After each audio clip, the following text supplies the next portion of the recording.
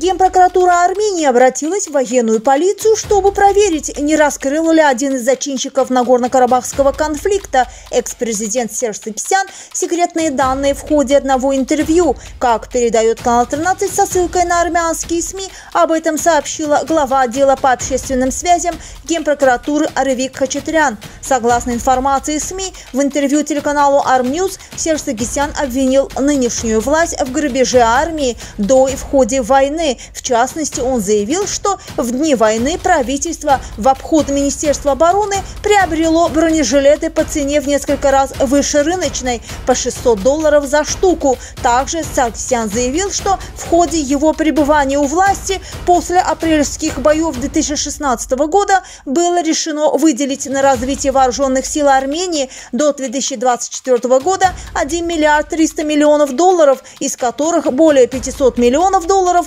планировалось потратить на развитие авиации, ПВО и закупку 2500 беспилотников.